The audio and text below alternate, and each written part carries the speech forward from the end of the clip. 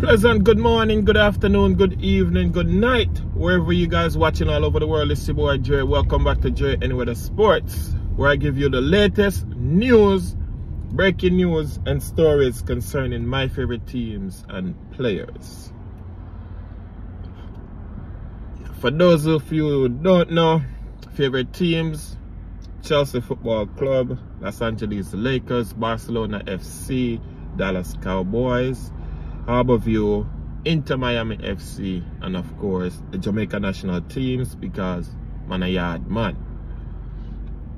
Jamaica national teams include the senior team, the Reggae Girlz, the under 20s, so on. Now, Leon Bailey and JFF. So there's an article in the Jamaica Observer written by Mr. Robert Bailey. Coincidence that Bailey's last name. but anyway, Dennis Chung still requesting a letter of commitment from one Leon Bailey. Despite coming out in public and saying that the suspension has been lifted for the selection of Leon Bailey to the national senior team setup. It's down to the coach. That's what they said. Suspension lifted for his selection and it's down to the coach. Now, Robert Bailey put out an article in the Jamaica Observer saying Mr. Chung still requests a commitment letter from one Leon Bailey on his intent to return to the national team for specifically September Nations League games versus Cuba at the National Stadium and Honduras away. The thing is, I feel I see it a little contradicting.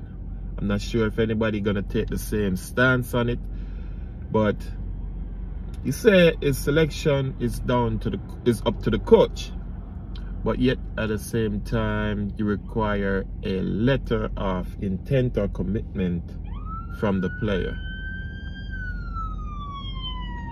So the coach can select the player without him giving the JFF that letter of commitment or intent. Him and the coach can have a conversation and Leon can say to the coach, hey, I'm available coach, go ahead put me in the squad. And the coach can have that dialogue and that understanding with Leon without the JFF getting that letter of intent commitment. It's possible. Will it happen? It could happen. Can the JFF stop it from happening? No, they can't.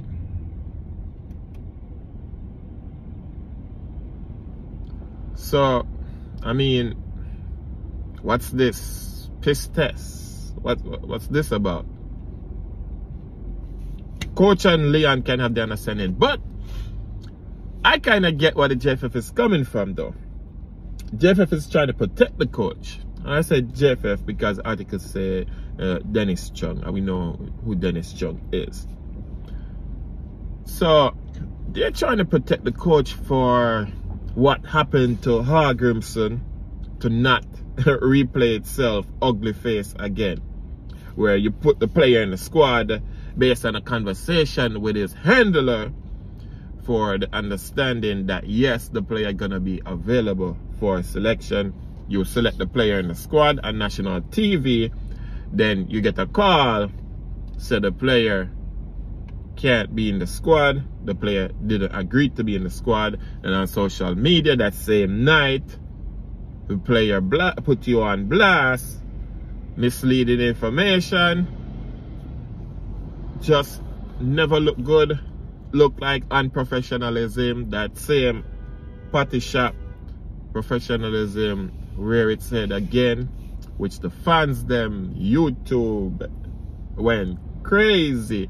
That same night, the place was in an uproar because everybody was excited that Leon Bailey was available again because remember he, take, he took a break from the national team and uh, then when they see his name in the selection everybody got excited then little to know that the player says misleading information and then the coach name the name had to be taken out. And I think it was replaced by Renaldo Cephas I think it was. Uh, I don't remember but but anyway to avoid that chaos again the JFF is asking for a letter of intent commitment from Leon Bailey aka poster boy. And I'm saying that the player can still return to the national team without that letter of intent. So let me know what you guys think in the comment section where this is concerned. Is the letter really needed? As as long as the player and the coach have an understanding that he will re, re, he will return and the coach lists him in his squad because it's clean slate. The coach said it in his press conference, his opening introduction, introductory press conference, he said it, clean slate with all the players, which I also find interesting because the one player it is about, it is about one Leon Bailey because he's the one who's, who's stepping to the forefront and uh, list out the changes that he needs to see happen within the JFF for him to return and he's taking a break in the meantime until this is rectified. Now, has these changes been rectified? Has these adjustments been put in place? Is, is everything good between Leon and the JFF now? Mm, I don't think so. I don't see it. So, it's a bit controversial one, people.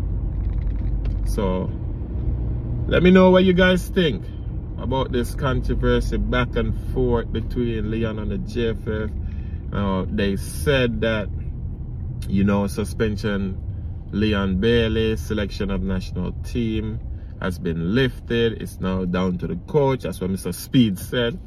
Then after that now, this morning, wake up, to news of article by Mr. Bailey in the Observer saying Dennis Chung said he still needs the letter of commitment, that letter of intent, that Leon Bailey it will be available for the upcoming um, selection process. He needs it in writing.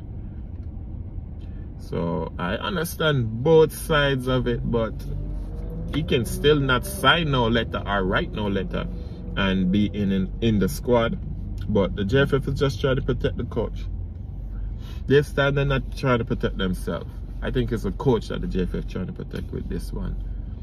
But big up on yourself, people. Thanks for taking time out of your busy day joining me over here. You know, as I give you the latest news and stories concerning my national team, the Jamaica national team and players. And this one about one of our star players, Leon Bailey. Big up on yourself, people. Hit the like button, share the video, tell a friend, tell a friend, tell a family member about Joy Anyweather Sports. Until next time, I say peace, love, unity. I'm out.